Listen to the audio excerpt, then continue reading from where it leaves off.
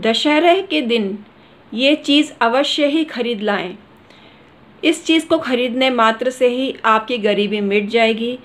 आपके अच्छे दिन शुरू हो जाएँगे।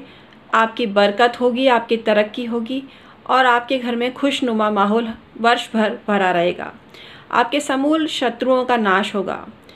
आपको शनि देव की कृपा प्राप्त होगी। तो आइए जानते हैं वो चीज़ कौन सी है जो आपको घर में लानी चाहिए। जिसको आपको रखना चाहिए घर में लाकर और शुभ मुहूर्त में आपको लेकर आना चाहिए।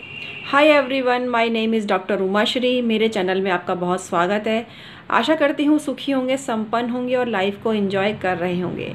भगवान इसी तरह आपको सारी खुशियाँ देता रहे।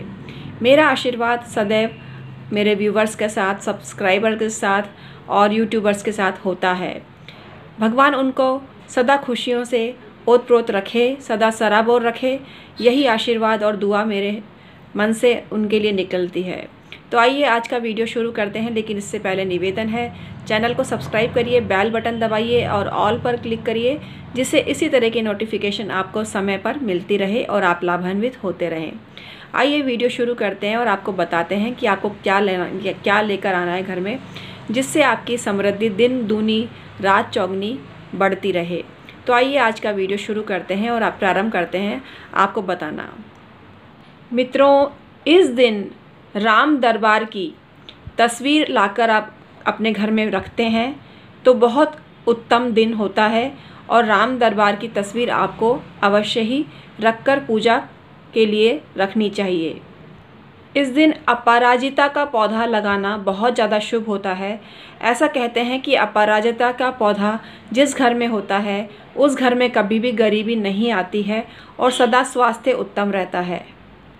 इस दिन ऐसा कहा जाता है कि सुबह सुबह अगर आपको नीलकंठ पक्षी के दर्शन में हो जाएँ, या नीलकंठ पक्षी आपके सपने में आ जाए, या नीलकंठ पक्षी की आप तस्वीर भी देख लें तो आपका जो घर होता है, वो धन वृद्धि से ओतप्रोत हो जाता है और घर में धन का आगमन होने लगता है। अगर आप इस दिन शुभ मुहूर्त में, जो कि दो बजकर एक मिनट से दो बजकर सैंतालीस मिनट से है सैंतालीस मिनट तक है, अगर आप शमी का पौधा अपने घर में लाकर लगा देते हैं तो आप पर शनि देव कुपित नहीं होते और शनि देव की कृपा हमेशा आपके जीवन में बनी रहती है और शनि देव आपको माला माल कर देते हैं। क्योंकि शमी का जो पौधा होता है, उसमें शनि देव की कृपा बसती है और शनि देव का प्रतीक होता है।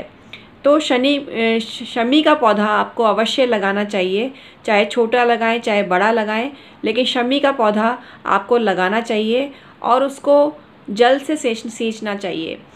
उसके ऊपर मतलब उसके समक्ष अगर आप किसी भी तेल का दीपक लगाते हैं तो आपके घर में शनि देव कुपित नहीं होते और शनि देव का आशीर्वाद आप पर हमेशा बना रहता है। अगर आप ऐसा शमी का पौधा लाते हैं जिसमें पुष्प भी आ रहे हों तो फिर कहना ही क्या है? अगर आप शमी का पुष्प अपनी तिजोरी में रखते हैं या पर्स में रखते हैं या अपनी पॉकेट में रखते हैं तो आपके पास कहीं से भी आए, निरंतर धन का आगमन होने लगता है। इस दिन सफ़ेद, गुलाबी या पैरेट ग्रीन कलर की शर्ट पहनना बहुत ज़्यादा शुभ होता है और आपका शुक्र ग्रह आपको आशीर्वाद देता है। तो मैंने इतनी सारी जानकारी दी। अगर आपको ज़रा सी भी जानकारी पसंद आई हो तो लाइक ज़रूर करना शेयर करना ऐसी जानकारी को और वीडियो देखने के लिए मेरे चैनल डॉक्टर उमा श्री को सब्सक्राइब करना। सब्सक्राइब करने से मेरी वीडियो की नोटिफिकेशन आपको जल्दी मिल जाती है और आपको लाभ की प्राप्ति कराती है। आप मेरे वीडियो यूट्यूब पर देखने के लिए टाइप कर सकते हैं डॉक्टर उमा श्री मेरे वीडियो आपके सामने आ जाएँगे जो आपको तरह तरह से लाभान्वित करेंगे।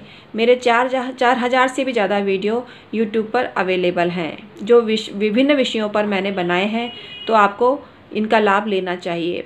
आप मुझसे ज्योतिषीय परामर्श लेने के लिए डिस्क्रिप्शन में ईमेल आईडी के ज़रिए संपर्क कर सकते हैं। एक हज़ार में मैं दो सवालों के जवाब फ़िलहाल दे रही हूँ।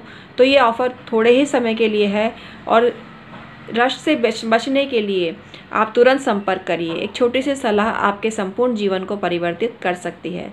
तो आज का वीडियो कैसा लगा कमेंट करके अवश्य ही बताइएगा।